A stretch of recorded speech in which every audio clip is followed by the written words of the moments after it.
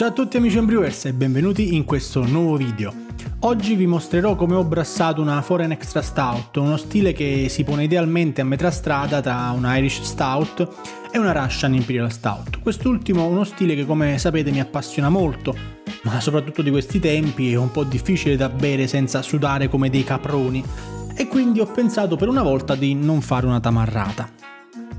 Per quanto riguarda il grist ho usato il 78% di extra pale ale della Pulse e questo è stato un primo strappo alla regola perché di solito uso Pilsner Dingemans, ma ero troppo curioso di provare questa nuova, tra virgolette, marca di malti.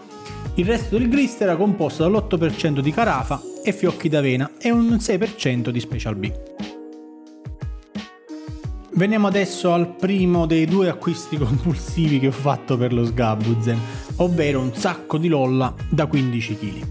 Nel catalogo di Mr. Malt era indicato come 0,2 metri cubi e non mi sono fermato minimamente a riflettere su quanti fossero 200 litri di lolla e l'ho scoperto solo dopo aver aperto lo scatolo.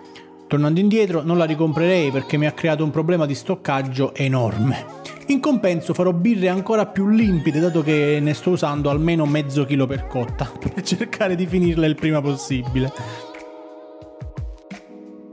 Per quanto riguarda i sali, ho progettato un profilo che favorisse i cloruri rispetto ai solfati, alzando anche la concentrazione degli ioni sodio, utilizzando comunissimo sale da cucina. Il sodio aiuta ancora di più a far emergere una pienezza di gusto che nelle stout è proprio quello che cerchiamo.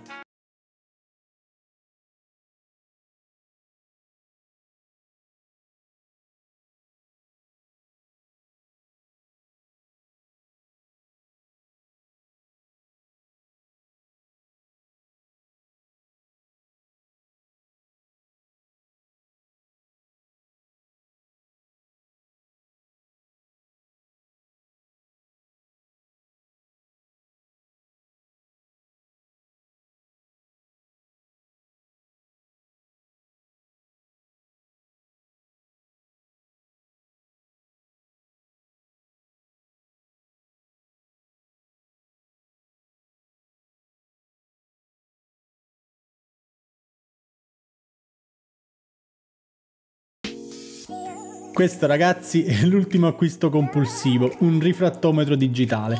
Lo desideravo da quando facevo EPG e avevo sempre evitato di acquistarlo perché pensavo fosse uno sfizio evitabile, ma alla fine non sono riuscito a resistere.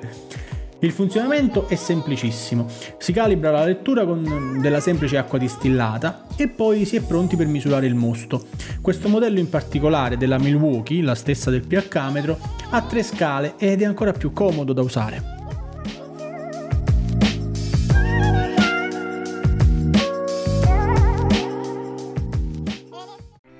Lui è Vito, un homebrewer pieno di sogni e aspirazioni, che iscrivendosi a Patreon pensava di accrescere le proprie conoscenze e invece si è ritrovato a pulire vetrine frigo. Se anche voi volete entrare a far parte di questa community ed essere solidali col povero Vito, allora seguite il link in descrizione. Anche perché resta il freezer da pulire.